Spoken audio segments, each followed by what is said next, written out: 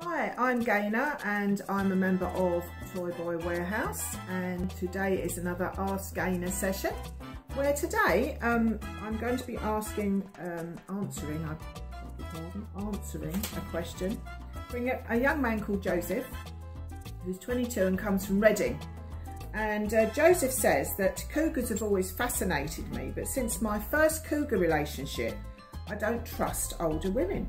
I was completely hooked on Stacey.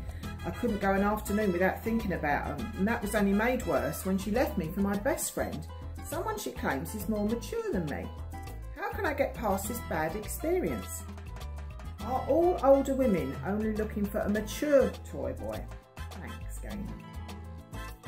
Well, Joseph, that's a very unfortunate experience that you've had. Um, I suppose really thinking about it, um, it really depends on the person that you're dating. Um, I don't think you can judge all cougars by Stacey. Um, I think that probably she just preferred your best friend um, and like all these things that happen in everyday life, regardless of the age, um, it's never good when someone close to you betrays you in such an awful way. So it's very hard for you to get over that um, you don't mention your best friend, frankly, I'd be more angry with him than I would be with Stacey because you would expect a best friend to have your back. And clearly he didn't have your back in any which way at all. So um, waltzing off with your cougar was, was, was very, uh, very nasty and underhand thing to do. However, um, with regards to older women, you really must not let this um, mar um, any future experiences you might have. Um, you can't say that the fact that she went off with your best friend was related to her age and the fact that she was a cougar. Um, maybe she was looking for a more mature personality. Um, but I wouldn't say that that is why uh, what all older women are looking for. Mainly we're looking for a younger man because they are younger. And that means that they look younger, they act younger, they are younger in everything they do. And that's what attracts us.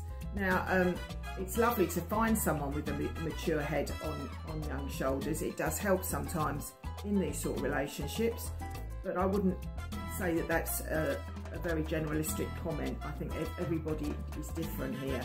Um, so please don't let this put you off, uh, Joseph. Please uh, do do go ahead, and if you want to date an older woman again, give it a give it a try. The chances of the same thing happening twice are very remote, I would say. Um, try not let this whole incident, um, you know, make things sour for you in future. So I wish you the best of luck. Uh, maybe pick your friends more carefully, it's what I'd advise you.